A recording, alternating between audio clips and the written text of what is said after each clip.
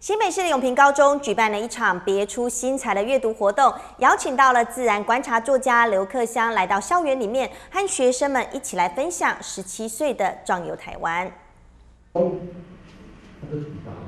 永平高中高一、高二的学生认真的听着自然观察作家刘克香的分享，关于十七岁的小壮游，还有延伸的大壮游，希望借由这样的活动，让学生有机会和作家面对面。也激发学生对于未来的想象。我把那个十七岁的壮游里面分成了两个类型，一个类型是一天他所遇到的一些撞击，另外一个是大的壮游是还是介绍一百年前到底有哪些人，他们十七岁的时候做了什么事情，以及现在的十七岁他们又做了什么事情。我会从小壮游带到大壮游。小壮友跟他们很接近，大壮友是希望他们能够效仿每一个年代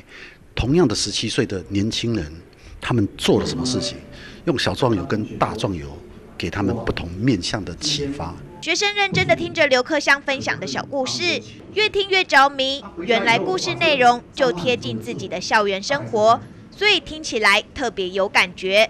而下午学生代表也将前往乌来。将故事也分享给原住民小朋友。那今天有这个机会的原因，是因为我们有发展一个呃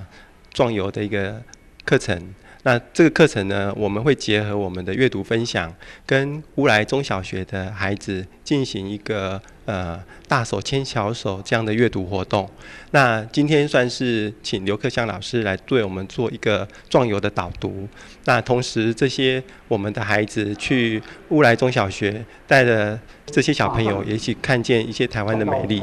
永平高中十分重视阅读教育，除了图书馆馆藏相当丰富以外。也希望利用各式各样的活动，将阅读的体验带到学生的真实生活里。中嘉新北新闻永和采访报道。